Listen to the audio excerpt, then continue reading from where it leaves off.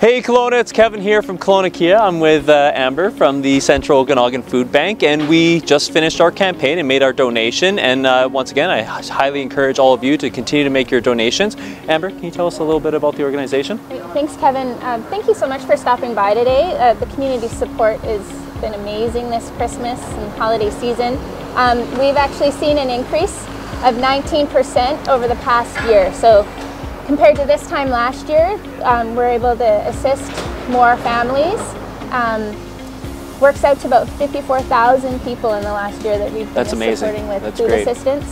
So um, can't thank you guys enough No, we- the Central Okanagan Food Bank for helping this season. No, we appreciate all the work you do.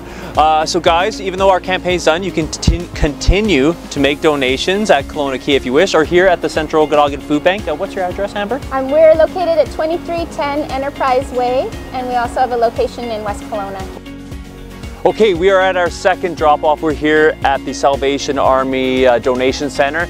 And thanks to our clients and all the community members, we have several bags of nice warm coats to give out for this time of the year. Uh, I just want to thank you for all your donations and uh, please, even though the Christmas holiday season is over, uh, please continue to make your donations and I hope everybody has a safe and happy new year.